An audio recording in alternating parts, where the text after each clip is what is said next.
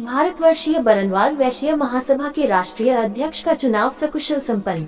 वाराणसी श्री भारतवर्षीय बरनवाल वैश्य महासभा का त्रिवर्षीय चुनाव संपन्न। बरनवाल सेवा समिति वाराणसी में सकुशल संपन्न हुआ।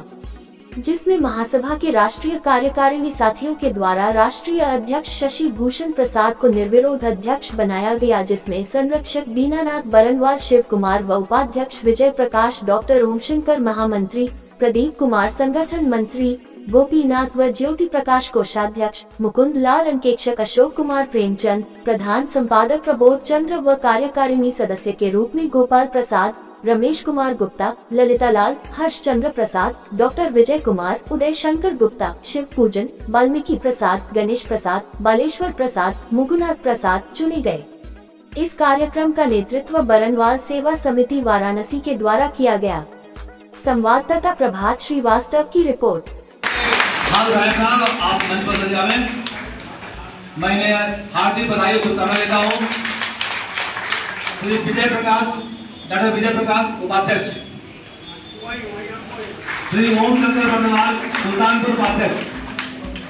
श्री प्रदीप बर्नवाल महामंत्री पटना। श्री प्रदीप बर्नवाल महामंत्री पटना।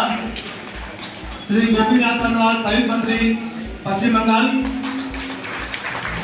श्री ज्योति प्रकाश बर्नवाल संयुक्त मंत्री बिहार। श्री मुकुंद लाल बर्नवाल कोषाध्यक्ष वाराणसी।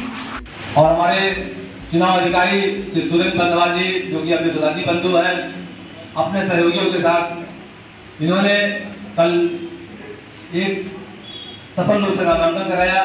और आज इन्होंने चुनाव परिणाम की घोषणा की। मैं इनके लिए पूरे बर्नवाल समाज की तरफ़ से इन्हें हार्दिक बधाई और शुभकामना देता हूँ। और मैं उम्मीद करता हूँ कि इनके द्वारा इनके द्वारा चुनी गई, इनके द्वारा निर्वाचित, घोषित किए गए कार्यकारी सदस्य या पदाधिकारी बर्नवाल समाज को आगे ले आने का कार्य करेंगे। बर्नवाल समाज को एक ऊंचाई प्रदान करेंगे जो तेरह सालों में क्षति हुई है उस क्षति की भरपाई करने का प्रयास करेंगे। मैं इनको धन्यवाद देता हूँ। धन्यवाद। हाँ इन लोगों का काफ़ी अच्छा सहयोग रहा। जैसे कोई दिक्कत कोई परेशानी नहीं। कितने पदाधिकारी बनाए गए हैं और किस किस शहर में बनाए गए पदाधिकारी तो जो है बिहार से है बंगाल से है उत्तर प्रदेश से है। कुल इक्कीस पदाधिकारी कितने कार्यकारिणी दिनों तक इस कमेटी का चयन नहीं हुआ? इस बार ये विगत तेरह वर्षों से विवाद में रहा है इस समय महासभा। और उसके पहले चार साल उन लोगों का कार्यकाल भी था। लेकिन कोई सहयोग नहीं दिया उन लोगों ने। नहीं तो आज ये स्थिति ही नहीं पैदा होती। मेरे लिए तो बड़ा अच्छा है कि भाई विवाद के बाद इतिहास हमें लगता है पहली बार चुनाव हो रहा है नए सदस्यों के लिए क्या कहना चाहेंगे? भाई मिलजुल के काम करें समाज के जैसे भी वृद्धि हो वो अपना कार्रवाई करें। शशिभूषण वर्णवाल मैरवा सिवान। अध्यक्ष पद पे मनोनीत किया गया है। जी, जी। प्राथमिकता क्या होगी हमारी प्राथमिकता होगी कि जो 1905 से चूँकि संस्था का निर्माण हुआ था हमारे पूर्वजों ने इसको बनाया था कि बरवाल जाति के अलावे हिंदू समाज और मानवता की के कल्याण के लिए काम करते करें। उसी उन्हीं चीज़ों को हम लोग आज भी याद रखे हुए हैं और हम लोग का सदैव प्रयास रहता है कि मानवता के साथ अपने बरवाल जाति को खूबसूरत और अच्छा बनाने का प्रयास हम लोग करेंगे। और सदस्यों जो सदस्य मनोनीत हुए हैं उनके लिए क्या कहना चाहेंगे? वे हमारे सभी बंधु हैं हमारे परिवार के सदस्य हैं और बर- बरनवाल परिवार के लिए उन लोगों का सोच अच्छा रहे, काम अच्छा रहे, ताकि बरनवाल समाज आगे बढ़ सके।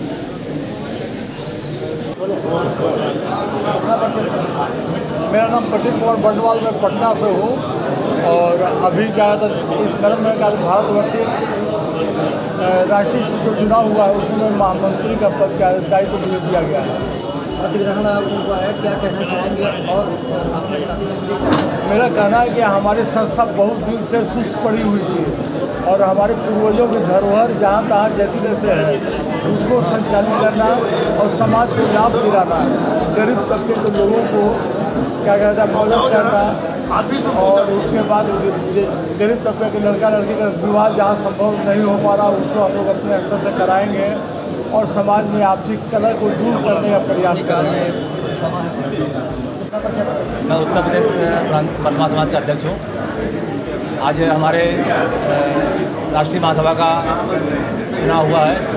तेरह वर्षों बाद चुनाव कराया गया नए सदस्य जो कैंडिडेट हैं उनके लिए क्या कहना चाहिए हम ये कहना चाहते हैं कि आज ये जो कार्यकारिणी बनी है उस कार्यकारिणी से मैं ये उम्मीद करता हूँ और अपने महासभा अध्यक्ष भी ये मेरी आशा है कि वो हमारे समाज के उत्थान के लिए कोई कहा करें